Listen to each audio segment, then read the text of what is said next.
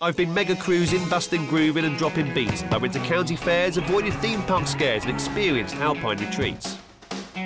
I lost myself and found myself and got in touch with my feminine side. I had primal screams, watery scenes and a high-speed husky ride. I'd thoroughly recommend it. So let's break from reality. And in actuality, let me take you all away as I explore what we all adore, and that's the great British holiday. Paul Merton's Adventures. Starts Wednesday, 19th of October on Channel 5.